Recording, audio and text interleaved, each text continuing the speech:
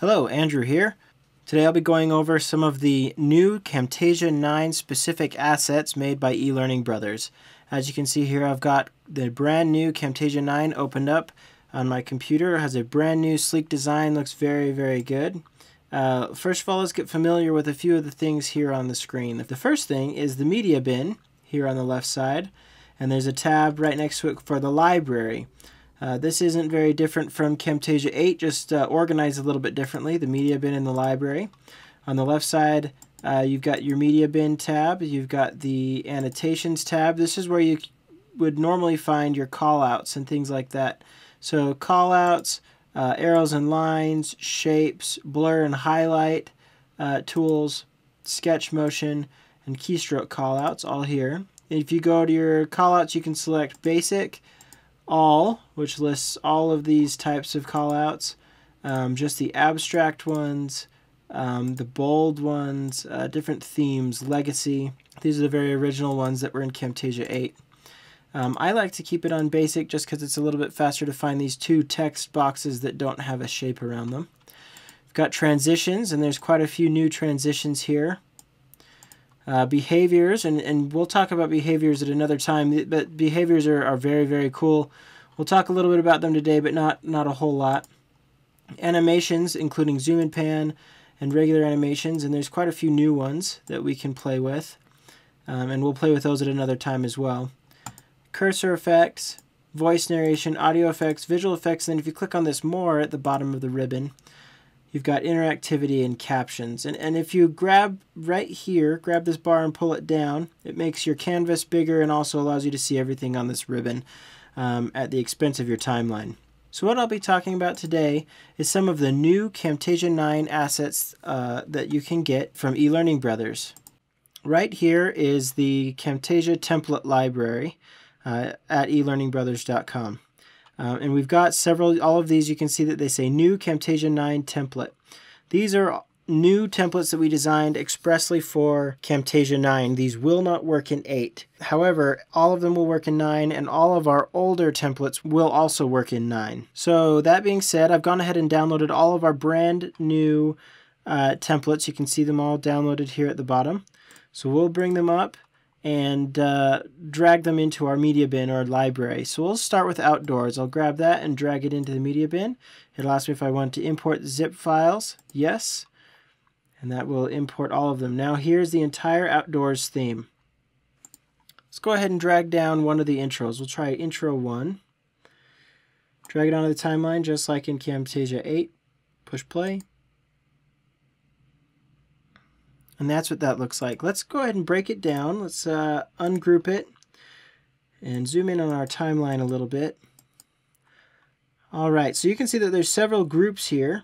Um, let's just click once on the groups to see what is being uh, grouped together. It looks like this group is this series of dots.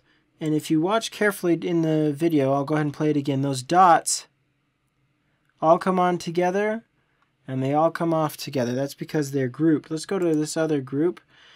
Uh, this grouping is the center squares, and you can see in these small lines inside the group uh, markings that that means there's one, two, three, four segments. You can see the four squares, and they animate on at different times. If we play through that, they all animate on separately and off separately, but they're grouped together.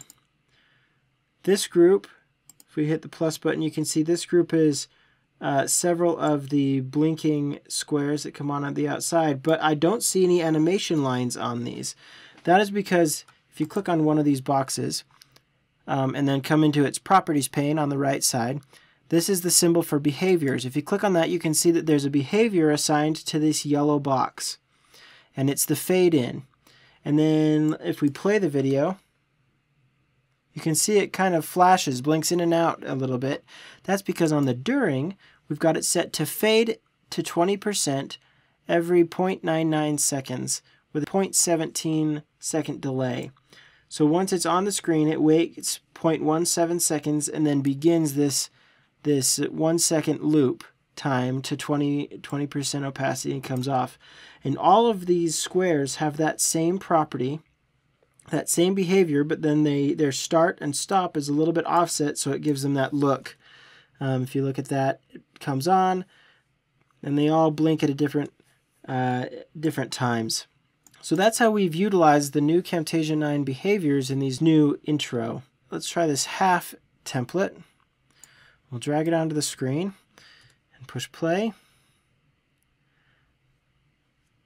That one also uh, has the same blinking squares, some motion. If we ungroup that,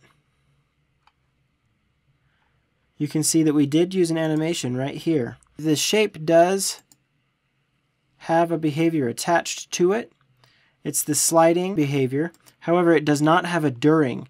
So the behavior dictates how it comes onto the screen and the behavior dictates how it goes off of the screen. If you click the out, you can see that it does have an out but its movement while it's on screen is dictated by the animation. So Camtasia 9 now allows us to mix behaviors and animations to get it to uh, act exactly how you would like in a very simple and easy way using only uh, one behavior. We stuck it on, the sliding, and then one animation. And we were able to get that circle to move onto the screen, move smoothly across the screen, and then move off of the screen and this, uh, let's go ahead and regroup it. I'll hit uh, Control Z to put it back in the group and I'll lift it up. And let's put a video behind it and see what that, that looks like. Now, if I drag this footage into Camtasia's uh, media section here, while the library is up, then that will actually add it to the library. I don't want to add it to the library, I just want to add it to the media bin. So I'm going to go ahead and select the media bin, then drag the footage straight into that media bin. Now I will drag that footage down underneath my uh, overlay. And when I play it, you'll see that that overlay covers up my actor, and that's not what I'm going for. So what I'll do is I will go to my, my footage, and I'm going to rotate it in the Properties pane here on the right side by 180 degrees. And that'll put uh, my character on the right side. He's still a little bit encroached by this, uh, this overlay. So I'm going to come right up onto the canvas, grab the corner of uh, the footage, zoom in a little bit, um, and then if I scroll out using my mouse wheel, I can change the size so that I can now see the border of my uh, footage. And I'm going to arrange this so it's a little bit better for seeing my character. Now when we push play, That looks much better. Much better for uh, for using that overlay. And this overlay is covering up this, the, the words on these parking signs so you can't see that the words are backwards. And even if it wasn't there, if we go ahead and click the hide, you can't really see because of the, the angle there. So when you're going to flip footage 180 degrees, just be aware of any writing um, in your screen. It may, it'll, it'll come out backwards. But that's one way that I was able to use that new uh, template.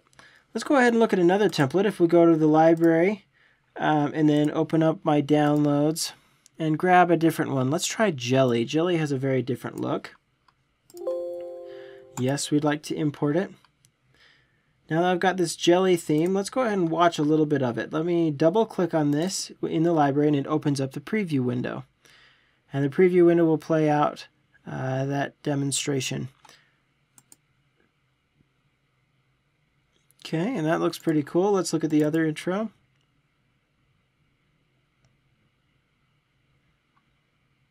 You know what, I actually like that second intro a little bit better. So let's put the second intro onto the screen. Go ahead and cut this one out of the way. Put the second intro onto my screen, onto my timeline. And now I can edit like this. So let's play it through. All right, so there's some changes I'd like to make to this. Similar to uh, the previous Camtasia version, to edit text, regardless of whether it's grouped or not, you just double click on the text and it selects that particular text box. Now I can move it around, I can adjust the behaviors attached to it. You can see that there are in and out behaviors uh, attached to this. I can change the font, I can change the color, the size even, its alignment, the style, um, the scale, its rotation, all of these features here. If I want to change what the text actually says, I double click on it a second time, and I can now go in and edit this text. So let's say I want to have this be my subject, new Camtasia 9. And now I want to edit this top one to say we create e-learning in the new Camtasia 9. Great, and that's it. That was very easy. It kept, both of these will keep their behavior styles, their color, their animations, and everything. So when I play through it now, push play, we create e-learning in the new Camtasia 9. And that was very easy, very easy, and it looked remarkable in the new Camtasia 9. Let's go ahead and look at these transitions. If we drag this jelly transition down onto the down onto the timeline and then push play, this is what it looks like. All right, not bad. Let's test that out by putting footage behind it. But first, let's let's go ahead and zoom in on it a little more and take a look at what's what's going on inside this transition. So if we hit the plus button here, you can see there's two groups. This group is the top shapes, and this group is the bottom shapes. So the time that we want the actual transition to happen is going to be when both shapes are filling up the screen. You can see here's when they're transitioning off the screen, and here's when they're transitioning off the screen. So we want it to be pretty close to here when they're when the full screen is covered. So this is where the transition actually needs to happen. So let's go ahead and get some media. We'll get the uh, footage we used earlier to be this transition out. And let's just grab another template. Uh, we'll grab, you know what, let's grab an intro from another theme. Let's try the tech theme and drag that in here. Now that we have the full tech theme, we'll grab this tech intro one onto the timeline. And we're going to need a little more space. Uh, looks like it's overlapping a little much here. So I'm going to put the cursor here, and then I'm going to hold down the shift button and select the scrubber, and as I move that forward, it's going to move everything after that scrubber with it. So we'll move it this way. We can zoom out a little bit to make it easier to see what's going on. And now I've got plenty of space to place down that intro. Place the intro right up against the side here. And I'm going to move this jelly intro a little bit out of the way. Alright, so let's go ahead and play this and see if that transition worked. We'll hit play by hitting spacebar.